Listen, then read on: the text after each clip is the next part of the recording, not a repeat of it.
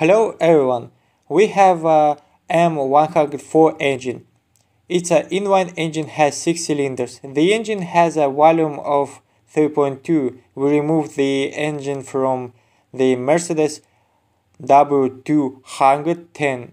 This is a coil motor. We have additional units for the engine. We have several thirds valve, throttle valves.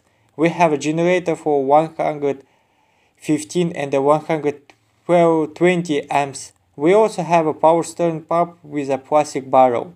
Now I want to tell you a little story about this engine. The engine M104 engine was produced from 1989 to 1998. The engine has such volumes as 2.8, 3.0 and uh, 3.2.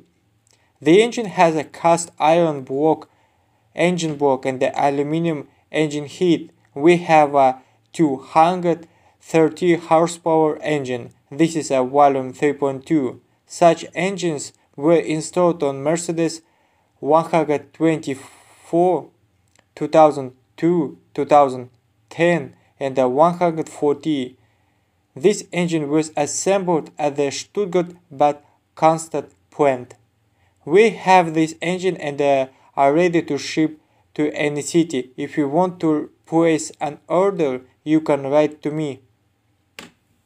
Give me a couple of seconds of your attention. I want to tell you about us. We're an afterparts store. We sell used afterparts.